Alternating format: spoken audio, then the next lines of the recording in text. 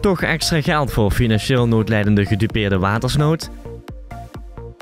Twee ex uit Valkenburg in finale LVK.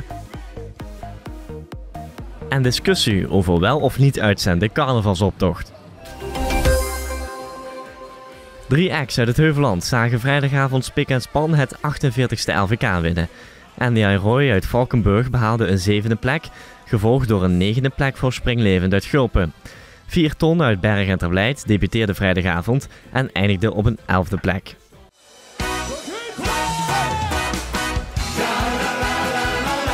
Na een zenuwslopende halve finale stonden Andy en Roy in de echte finale. Ze traden op met een nummer Made in Limburg. Ja, spanning, eh, spanning ja, niet voor het optreden zelf, maar de spanning begint meestal bij de puntentelling. Want dan krijgen ze eigenlijk pas ook van de hoogjury. Wie hebben ze erin gedeeld? Ja, en we worden natuurlijk ja, net niet bij de top 5 uh, achtste of wat we over uiteen. Uh, tien prof, dus dat is een zevende. Ja, zeven, ja, dus de, van, van de hoogjury. Dus dan is ze al blij dat ze genoeg sms-stemmen hebben gekregen van, ja, van, van de lui die allemaal uh, doen sms'en. Want anders hadden we misschien wel net niet gehad.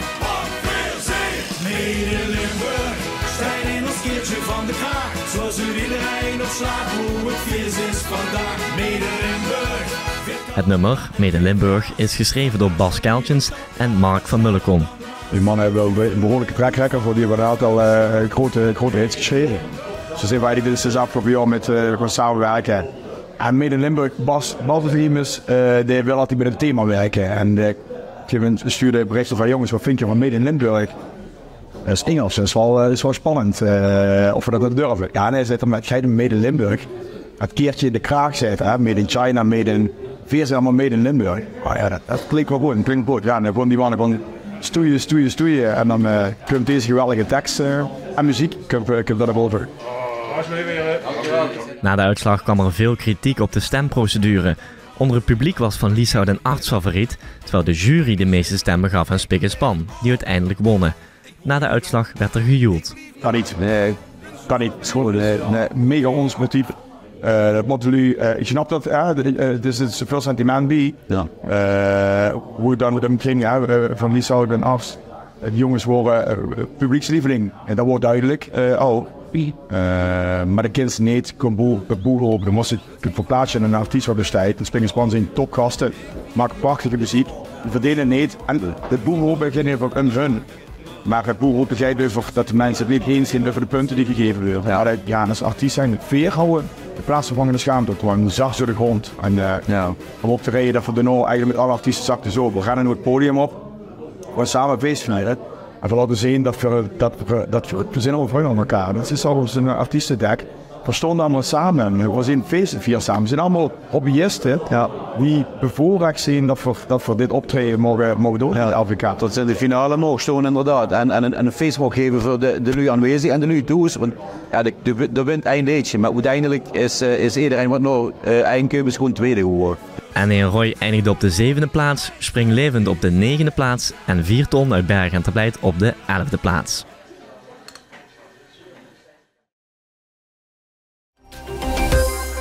Ook 4 ton stond in de finale. Het was voor het eerst dat een groep uit Berg en Terblijt in de finale van het LVK stond.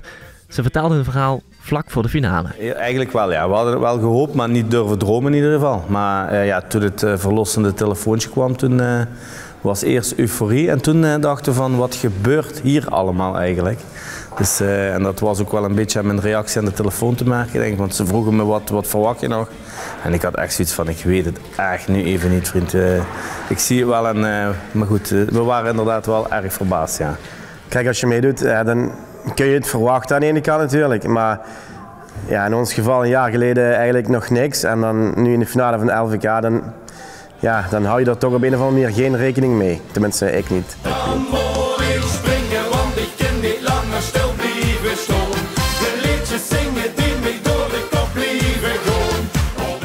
we hadden er geen verwachtingen bij, maar dan kom je in die halve finale. Dat was al één groot feest op die, maandagavond. Dat was al uh, gek.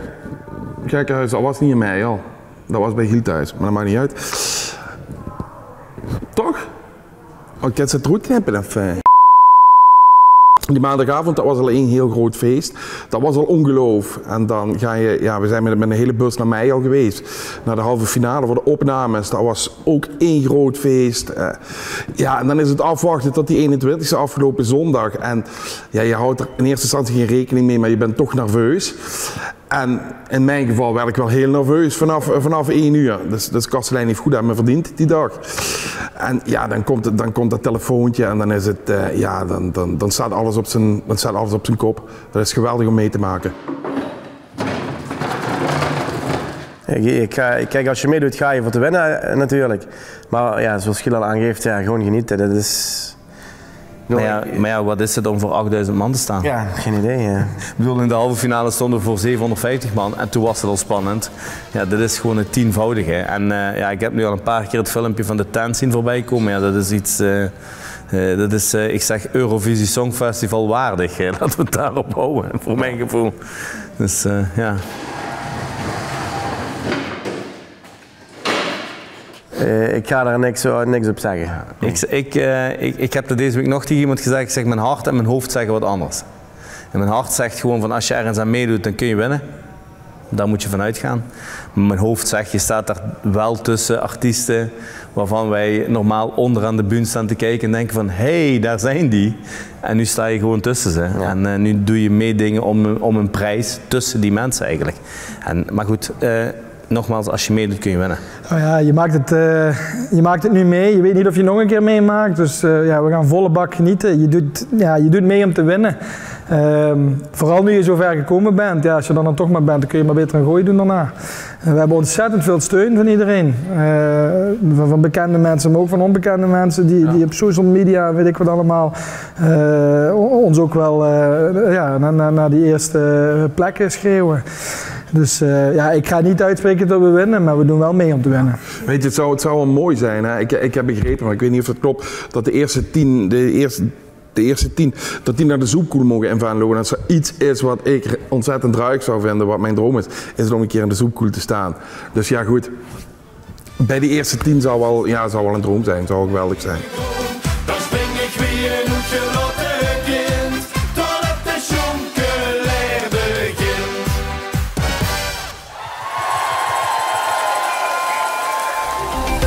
Aanstaande zondag gaan 18 kinderen uit Valkenburg, genaamd de Rekelkus, hun nummer Plankgaas Power ten gehoor brengen tijdens de finale van het Kinga het Leedjesfestival in Heel. Ze nemen het daarop tegen 10 andere acts. Het nummer namen ze op in de studio van Milestone in Ulestraten.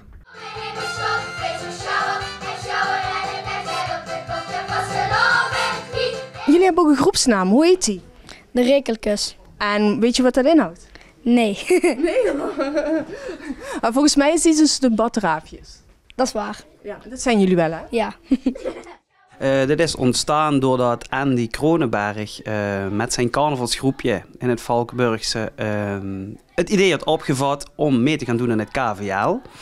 daarbij heeft hij Bas Keltjes gevraagd om de tekst te schrijven. En toen kwam hij bij mij uit om, om de muziek te maken. En ik heb uiteindelijk samen met Sander Simons het muzikale gedeelte van het liedje op me gepakt. Andy, het was jouw initiatief om deze kinderen samen te brengen.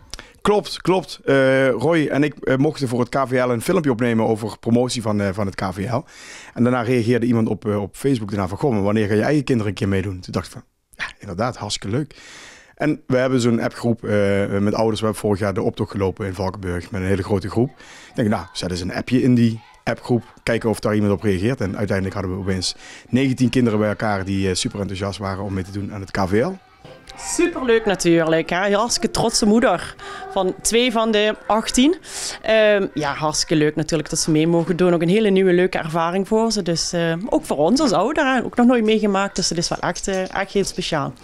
Ze hebben een aantal keer geoefend met elkaar en dat ging eigenlijk uh, vrij snel. Ze pakten het allemaal uh, snel op met dansjes en al. Um, en uiteindelijk met 15, ja, 15 deelnemers waren er. En er zijn er 11 doorgegaan, waaronder de rekkelkus. Dus ja, nou, ik denk dat ze best wel eh, top 5 materiaal is het absoluut. We hopen natuurlijk eh, voor ze dat, dat ze winnen. Maar ja, het hoeft eigenlijk niet, want ze hebben al zoveel plezier. Dus gewoon het meedoen en met z'n allen met de bus eh, ze aanmoedigen. Dat is voor ze allemaal zo leuk. En, en het zijn allemaal vriendjes en vriendinnetjes samen. Dus het wordt gewoon een hele gezellige dag.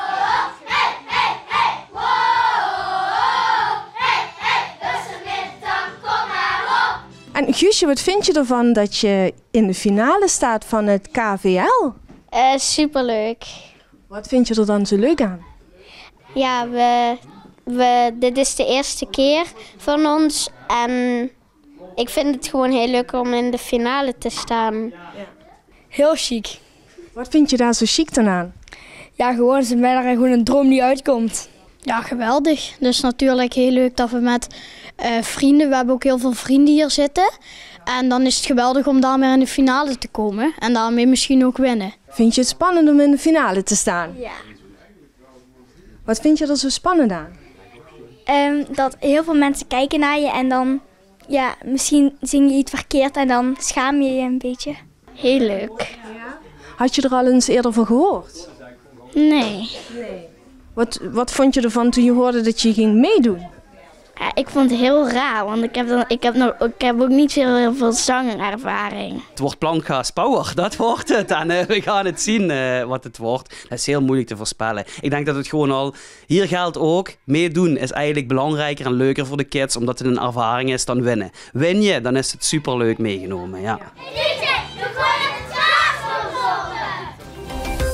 SV Guldal heeft zondag zijn nieuwe trainer voor het komende seizoen bekendgemaakt. Jean Broens wordt de nieuwe trainer van het volgend voetbalseizoen. De club maakte in november bekend dat de huidige hoofdtrainer, René Smeets, na dit seizoen de club gaat verlaten. Broens traint op dit moment het eerste elftal van SC Brunsum.